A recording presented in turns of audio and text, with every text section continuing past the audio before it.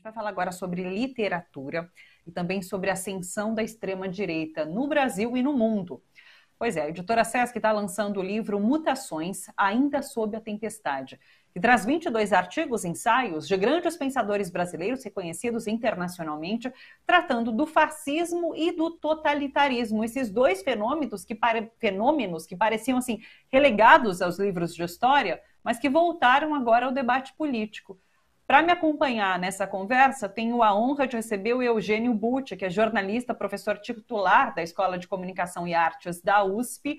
Eu estaria também com a Maria Rita Kel, mas ela não conseguiu conectar, vai ficar para uma próxima participação dela. Ela que é psicanalista, mas ela mandou um beijo para você, viu, Eugênio? Tudo bem com você? É um prazer te receber por aqui. Eu, eu queria mandar um beijo para Maria Rita também, não sei se ela consegue nos ouvir mas uma das melhores coisas do livro é o ensaio dela, é uma joia. Ela fala sobre o fascismo e o machismo, né? Eu estava doida para saber, para ter detalhes disso. Exatamente. Mas ela vai participar aqui numa próxima com a gente, deve estar tá ouvindo. Ela participa numa próxima com a gente, já, já inclusive sugeriu essas próximas participações nas outras semanas. Eugênio, vamos lá. Eu queria que você começasse falando um pouquinho para a gente sobre o livro. Então, tem esse nome poético, né? Sob a tempestade ainda, mas fala desse tema árido, que é o totalitarismo, o fascismo avançando no mundo. E aqui no Brasil, diante disso tudo que a gente está vivendo, né? Acho que há um tempinho as pessoas ficavam meio assim acanhadas em falar que a gente vivia num fascismo, num modelo fascista. Hoje a, gente já fala com mais naturalidade de que é o fascismo, isso que a gente está enfrentando hoje aqui no país. Fala um pouquinho então sobre o livro e sobre esse momento, por favor. Bom, é, o tema do fascismo ele nunca foi, na verdade, engavetado. Nos anos 50, Uh, Adorno, Teodoro Adorno escreve um importante ensaio a respeito. Mais tarde, Humberto Eco uh, também vem a escrever sobre o fascismo, inclusive dá os requisitos que identificam o fascismo. E mais recentemente, são muitos os estudos que procuram lembrar essa experiência e produzir as conexões com o tempo presente. Recentemente, por exemplo, uh, um jovem historiador americano, Jason Stanley, ele escreveu um livro uh, sobre o fascismo em que ele apresenta também as características importantes ou as características definidoras uh, desse regime ou desse modo de pensar e agir politicamente ou dessa mentalidade e a Maria Rita diria dessa perversão na política. O ensaio dela no nosso livro fala disso. Portanto, o fascismo é uma palavra presente. Quando a gente diz que existem elementos do fascismo nos nossos dias, é claro que nós não estamos querendo dizer que o atual presidente da República seja como é, Benito Mussolini na Itália. Benito Mussolini era muito mais culto, tinha muito mais preparo. É, são pessoas incomparáveis. Mas há traços que aproximam esses dois momentos da história entre outras coisas, nós vamos ter o machismo uh, completamente alucinado, nós vamos ter a conexão direta entre o líder e as massas fanatizadas, nós vamos ter um modo particular de ação política na rua, eh, no público, que evoca violência, a idolatria da arma, a propaganda como fonte da verdade. Os traços são muito comuns e muito assustadores e estão em toda parte. De forma que nós precisamos é, aprender com a história, ver onde é que aquilo foi dar e entender também que no nosso tempo há outros ingredientes, outros componentes. Mas a intolerância, a fala do ódio, essa, essa, esse estado de coisas evoca muito o fascismo, sem dúvida nenhuma. Professor, é, qual é a relação, inclusive, do fascismo com as comunicações, com o jornalismo, por exemplo? Porque a gente tem assistido o governo e principalmente o presidente Jair Bolsonaro atacando, né, rotineiramente os jornalistas, o jornalismo. É, qual é essa relação que o fascismo tem com a, a comunicação como que a gente consegue enxergar isso aqui no Brasil? Fica nítido isso aqui no Brasil como sendo, de fato, um, um, um sistema fascista por conta do que acontece? Bom, a relação do fascismo com a imprensa é uma relação de recusa e de opressão. É, quando eu digo que o Mussolini era mais culto, mais preparado que o atual presidente da República no Brasil, eu lembro, inclusive, que ele mesmo, Mussolini, era jornalista. E depois promove aquele horror, aquela atrocidade contra a, o país, contra a nação, contra a Itália e contra a humanidade, especialmente quando se torna aliado de Adolf Hitler.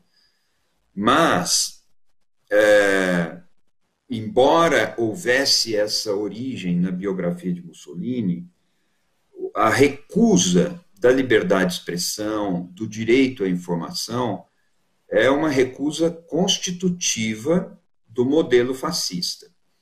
E isso tem uma razão. O líder autoritário, ele não admite contestação e não pode admiti-la. Numa democracia, a dissidência, a crítica vão concorrer para fortalecer o regime político. Quanto mais dissidência, quanto mais discordância, quanto mais pontos de vistas alternativos existem sobre uma determinada matéria, mais isso gera engajamento das pessoas e mais a ação política se torna fascinante. E isso eleva, inclusive, nos países onde o voto não é obrigatório, eleva o comparecimento de eleitores nas urnas. A gente viu isso nos Estados Unidos em mais de uma eleição recente. A dissidência fortalece a democracia. E a dissidência fortalece os líderes democráticos. Nos líderes autoritários é o contrário. O que os fortalece é a obediência, é a servidão, é a idolatria. Qualquer ideia dissidente enfraquece esse modelo de mando. E a imprensa tem a característica de veicular crítica. A gente pode não concordar com as críticas da imprensa, isso é uma outra história, mas é parte da natureza da imprensa o cultivo da crítica, do olhar crítico. Muitas vezes críticas desagradáveis a uns ouvidos ou a outros, mas isso é constitutivo da imprensa. E, além disso, a missão, a prática de fiscalizar o poder. A imprensa, historicamente, acabou se constituindo como uma instituição que discute o poder, como nós estamos fazendo aqui, mas também investiga os atos do poder, quer ir atrás, quer saber o que aconteceu. Vamos entender, por exemplo, o que se passa agora na CPI, que você comentava ainda há pouco. É um processo de investigação instituído pelo parlamento, mas fortemente abastecido é, por denúncias publicadas na imprensa e fortemente conectado aos, às repercussões que são próprias da imprensa também. A, a, a CPI recebe uma extensa cobertura e é natural que seja assim. O fascismo lida muito mal com isso. Por isso, no fascismo, no nazismo, que pode ser entendido como uma espécie de fascismo, é um, um agravamento do fascismo, um fascismo de extração mais perversa e mais cruel, que incluiu o extermínio, incluiu o holocausto e outras coisas, mas esses regimes não toleram a liberdade, não toleram a crítica, não toleram a investigação dos atos do poder, exatamente porque isso vai enfraquecê-los.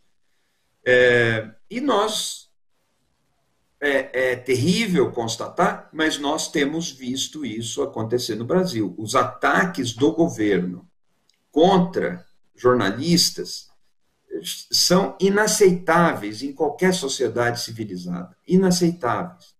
E há ataques nominais, ofensas, é, calúnias contra jornalistas mulheres. O discurso do poder que aí está parece ter uma preferência em atacar a mulher jornalista. E aí a gente nota uma coisa muito clara. Quando a jornalista é uma mulher, é como se a condição feminina fosse um defeito. Basta dizer que é mulher, que isso já desqualifica. A mulher que deseja é uma mulher uh, quase que criminosa. É. E a gente notou isso em vários episódios recentes. A gente notou, por exemplo, que o presidente da República, mais de uma vez, advertiu empresários para que não anunciassem neste ou naquele jornal. E eu insisto aqui para as pessoas que nos acompanhem: não importa se a gente gosta ou não gosta dos jornais que o presidente da República combate e dos jornais de quem ele quer tirar anunciante, dos jornais que ele quer levar à falência. Não importa isso. O que importa é que o ataque desse poder contra a imprensa tem o objetivo claríssimo de silenciar a imprensa, de quebrar a imprensa.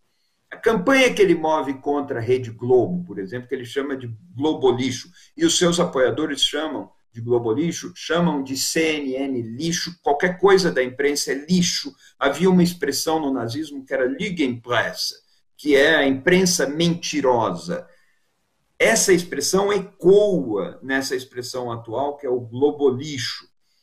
Ele chama de lixo, e não é só por causa do jornalismo, é porque aparecem nas novelas cenas de inclusão, é, de amores homoafetivos, que, segundo esse discurso fascista, é, são alusões a uma forma de comportamento que corrói a tradição da família brasileira e, portanto, não deve estar lá. É um ódio contra tudo que é diferente contra tudo o que é dissonante, é dissidente.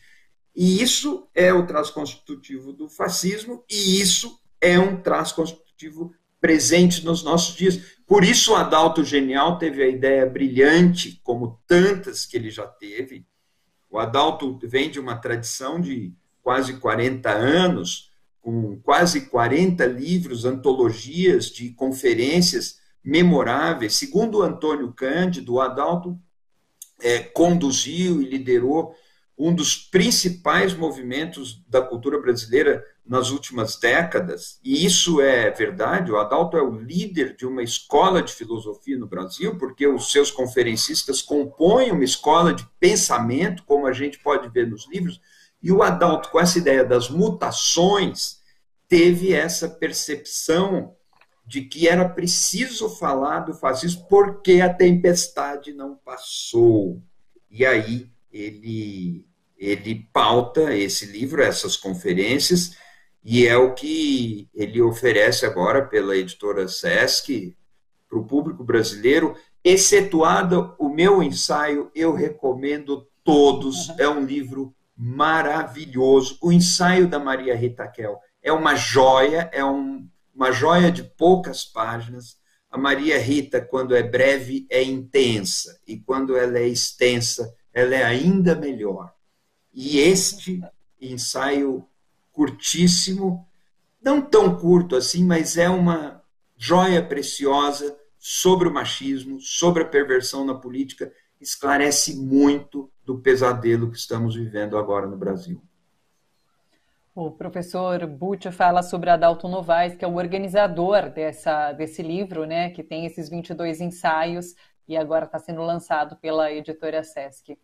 É, professor, só para finalizar, me tira uma dúvida que eu tenho curiosidade para saber sua opinião sobre isso, na verdade. Ah, você traça esse cenário de ataques constantes do presidente à imprensa, é, as jornalistas mulheres, você citou aí a Globo, a, a própria CNN. Mas, quando foi na segunda-feira, no domingo, na verdade, muita gente ficou chocado por essas duas emissoras e por jornais impressos não terem feito a cobertura do que, foi o, que foram os atos do dia 29.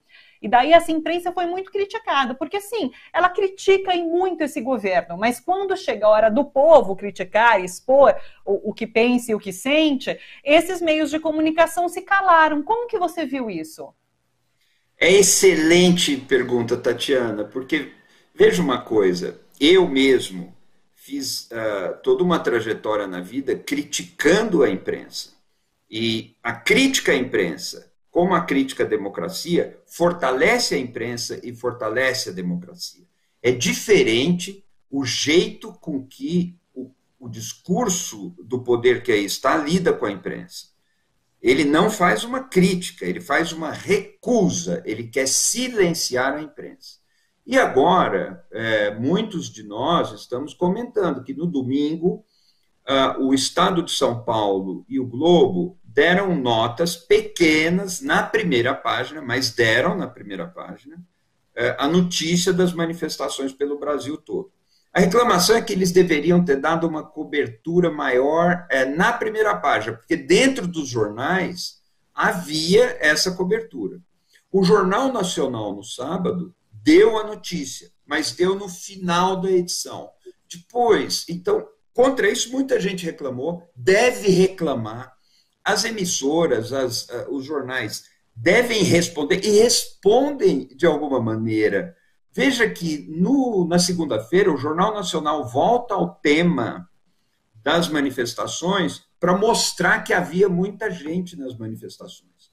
E terça-feira o jornal o Estado de São Paulo dá o seu principal editorial em elogio às manifestações, dizendo que elas são significativas e que agora existem os dois lados disputando na rua e que isso não deve recuar, não vai ficar só nas redes sociais, mas a rua está em disputa com vírus ou não. Esse é o tom do editorial do Estado de São Paulo de terça-feira, de anteontem, que eu recomendo a leitura. Com isso, eu não quero é, dizer que a imprensa agiu bem, é, eu acho, ou também não quero dizer que tenha agido mal, mas eu acho que a cobertura na capa dos jornais foi bem na Folha de São Paulo, que trouxe foto, inclusive, das manifestações, e poderia ter sido mais expressiva na capa do Globo e na capa do Estadão. É, e é essencial que a gente discuta essa questão. A imprensa só é forte quando a sociedade a discute, mas nós discutimos a imprensa para fortalecer a liberdade. Nós queremos mais liberdade não menos. Nós queremos mais órgãos de informação e não menos. Nós queremos mais canais, mais gente falando, mais expressão e não menos. O lado do poder quer menos, quer apenas a propaganda no lugar da imprensa. Quer apenas redes sociais, não como veículo de informação, mas como propaganda. E isso faz toda a diferença. A imprensa democrática, que tem endereço certo, que tem pessoas com nome e sobrenome como responsáveis, que é uma instituição a qual a gente pode recorrer quando está inconformado, para a qual a gente pode dirigir críticas e a qual a gente pode até processar, essa imprensa melhora com a crítica e se beneficia da crítica que a gente faz. Perfeito. Professor, quero agradecer demais a sua participação aqui com a gente. Muito obrigada. Venha mais vezes para a gente conversar, inclusive, sobre jornalismo e sobre a imprensa aqui no Bom para Todos, viu? Foi um prazer te receber. Até uma próxima. Eu que agradeço. É, eu sempre que convidado virei, sou admirador do trabalho de vocês e espero numa próxima voltar aqui com a Maria Rita. Muito obrigado e saudações para todos.